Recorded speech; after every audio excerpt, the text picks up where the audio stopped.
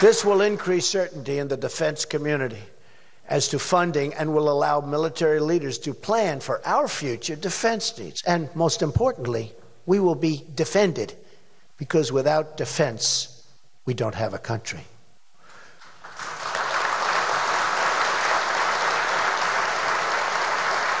As part of removing the defense sequester, I will ask Congress to fully offset the costs of increased military spending.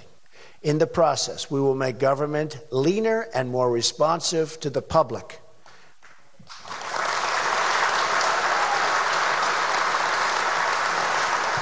I will ask that savings be accomplished through common sense reforms that eliminate government waste and budget gimmicks and that protect, absolutely protect, hard earned benefits for Americans.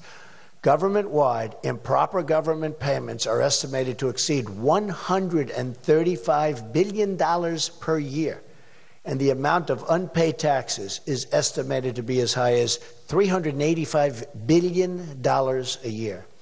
We can also reduce the size of the federal bureaucracy through responsible workforce attrition. That is,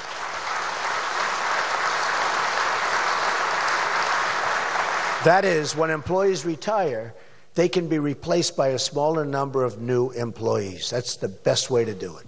We can also stop funding programs that are not authorized in law. Congress spent $320 billion last year on 256 expired laws. These are laws that are gone. Spent all of that money. Removing just 5% of that will reduce spending by almost $200 billion over a 10 year period. The military will not be exempt either. The military bureaucracy will have to be trimmed down. We have to create that strength, and sometimes we have to reduce bureaucracy. It just gets in our way.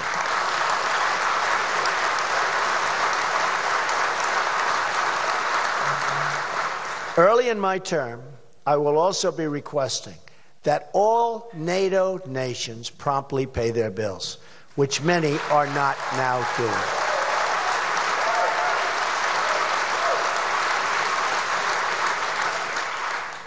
Only five NATO countries, including the United States, are currently meeting their minimum requirement to spend 2% of GDP on defense.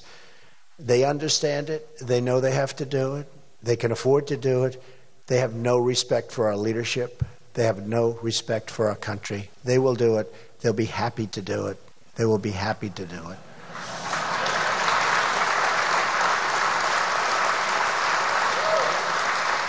Additionally, I will be respectfully asking countries such as Germany, Japan, South Korea, Saudi Arabia, to pay more for the tremendous security we provide them.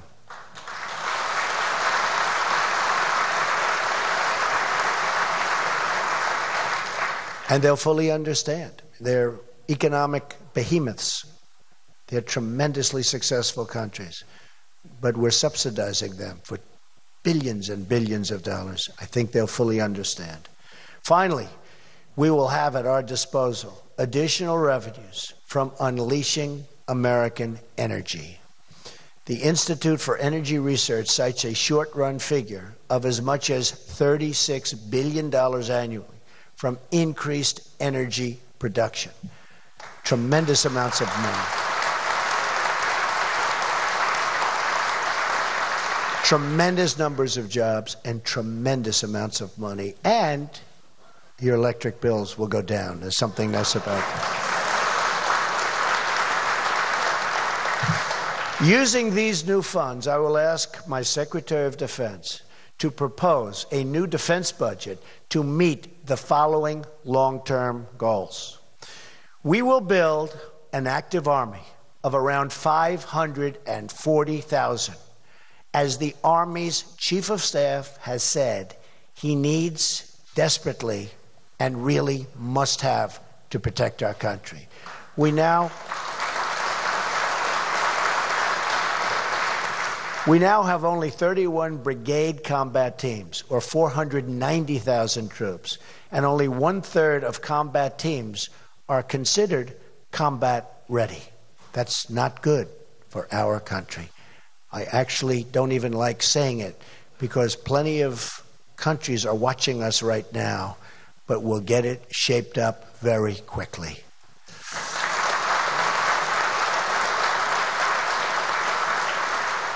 We will build a Marine Corps based on 36 battalions, which the Heritage Foundation notes is the minimum needed to deal with major contingencies. Right now, we only have 23.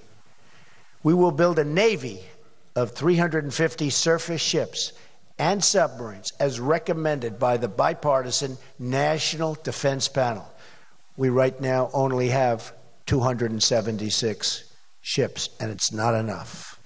And we will build an Air Force of at least 1,200 fighter aircraft, which the Heritage Foundation again has shown to be needed to execute current missions. We now have 1,113. Not enough. We will also seek to develop a state of the art missile defense system.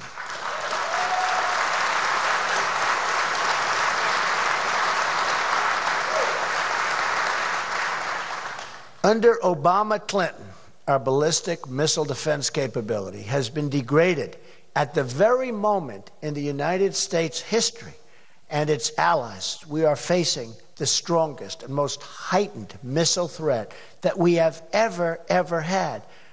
You look at Iran, you look at North Korea, you look at terrorists, we don't even know where to look.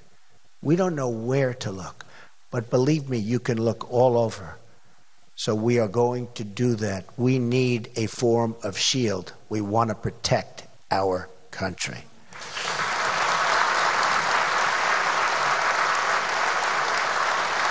As these potential adversaries grow their missile, missile programs, U.S. military facilities in Asia and the Middle East, as well as our allies, are increasingly in range with the United States homeland and we are really, absolutely, and potentially being threatened. And within two years, we will absolutely have a real threat. They'll be able to reach us so easily the way it's going right now.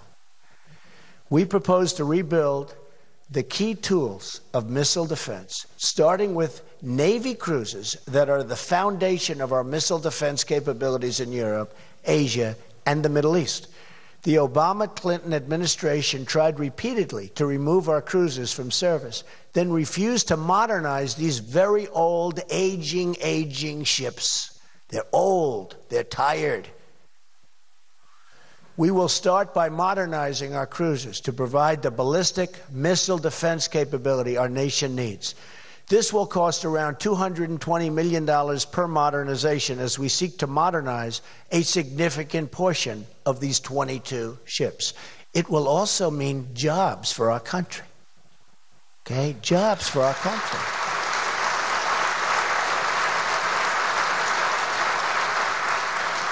And that is one of the big benefits. It's called jobs for our country, which we desperately need.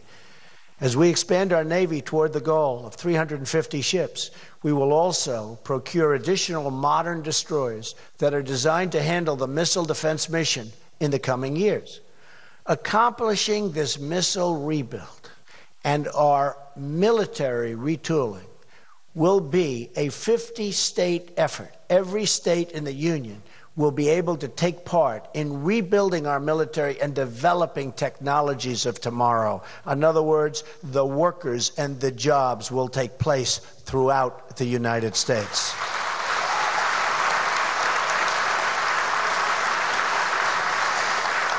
In addition, we will improve the Department of Defense's cyber capabilities. A new threat, a new problem, very expensive and we're not doing very well with cyber.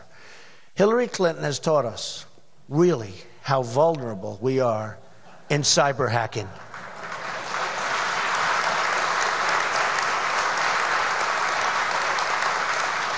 That's probably the only thing that we've learned from Hillary Clinton.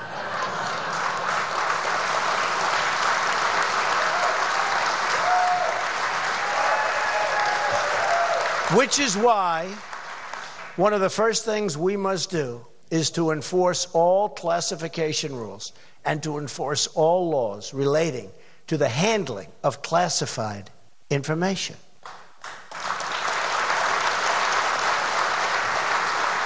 Hillary Clinton put her emails on a secret server nobody knew about, except for the man that was given the fifth. Remember? Whatever happened to him? Where is he? What happened to him? Where did he go? He pled the fifth. Never, that's the end of him. Ay, ay, ay.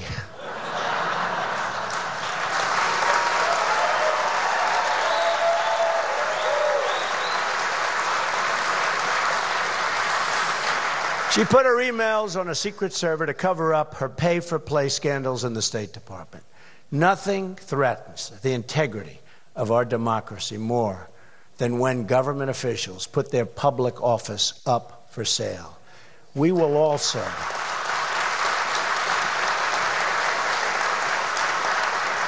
We will also make it a priority to develop defensive and offensive cyber capabilities at our U.S. Cyber Command and recruit the best and brightest Americans.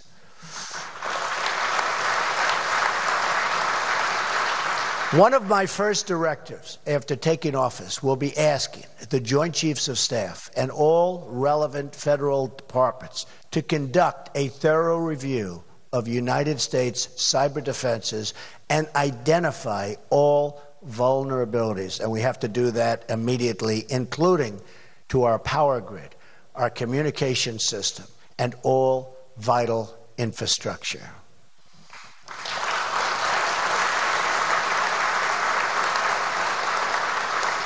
I will then ask for a plan to immediately protect those vulnerabilities and then fix them. At the same time, at the same time, we will invest heavily in offensive cyber capabilities to disrupt our enemies, including terrorists who rely heavily on internet communications.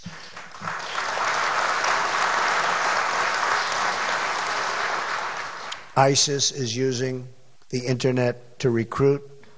ISIS is using the internet to intercept and do all sorts of things to our country. We have to be many steps ahead of them and we will be.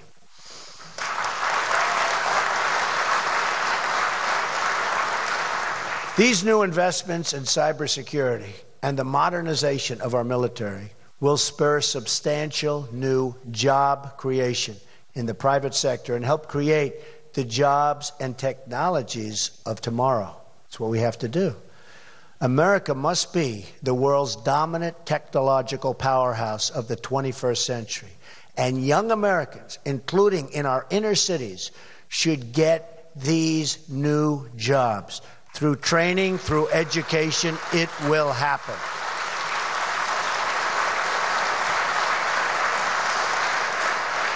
We must also ensure that we have the best medical care, education, and support for our military service members and their families, both when they serve and when they return to civilian life.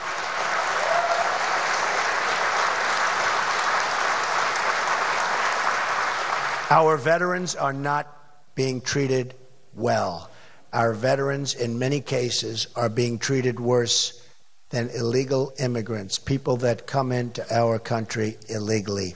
Our veterans are not being treated well. And by the way, Hillary Clinton has been doing this for 35 years. Now she says she can do it. She doesn't have a clue. Doesn't have a clue.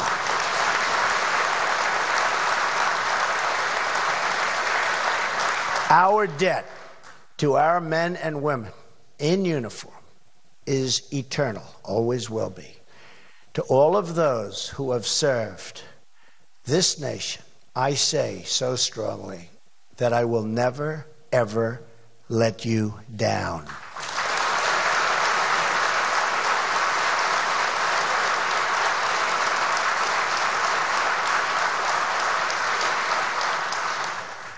We will protect those who protect us. It's very simple. We will protect those who protect us. And we will follow their example of unity. We will work across all racial and income lines to create one American nation.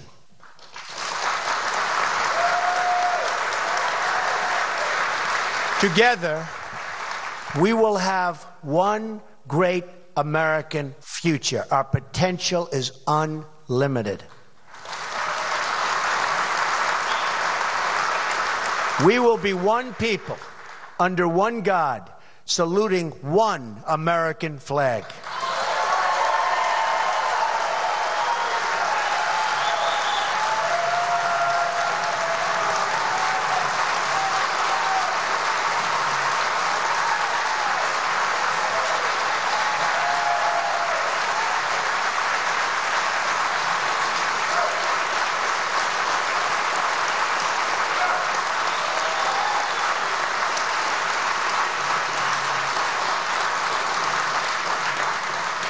And by the way, we love our flag.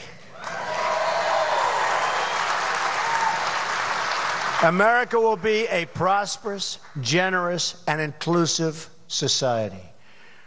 We will discard the failed policies and division of the past and embrace true American change to rebuild our economy, rebuild our inner cities. They need help so desperately, and rebuild our country.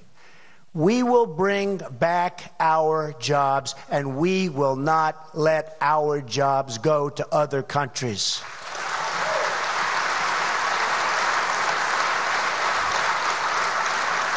We will make America strong again. We will make America safe again.